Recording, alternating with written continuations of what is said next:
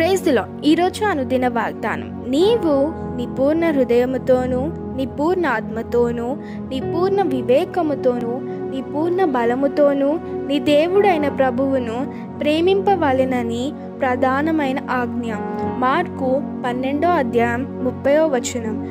And thou shalt love the Lord thy God with all thy heart, and with all thy soul, and with all thy might, and with all thy strength. This is the first commandment. Mark chapter 12, verse 30. నీవు ఆలయంలోకి వెళ్ళినప్పుడు నీ పూర్ణ హృదయముతోనూ నీ పూర్ణ ఆత్మతోనూ నీ పూర్ణ వివేకముతోనూ నీ పూర్ణ బలముతోనూ నీ దేవుడైన యహోవాను ప్రేమించినచో ఆయన ఆజ్ఞను నీవు అనుసరించినట్లే. నీవు నీ కుటుంబమును దీవించబడి ఆశీర్వదింపబడును గాక ఆమెన్.